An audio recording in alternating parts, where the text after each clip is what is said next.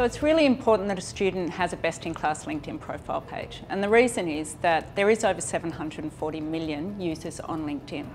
Every single organisation looks at LinkedIn and the candidate. So I know the way that roles are filled and the first thing they will do is put jobs out on Seek or on LinkedIn, applications will come in.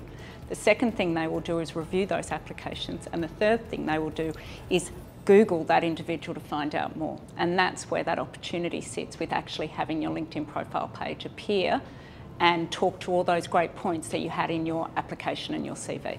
You know, if I was a student, I would firstly build my profile page. On the page itself, on your profile page, I want to see a really decent headshot. I want to see a vibrant and dynamic background. I want to see the summary section populated, and that means the About Me section.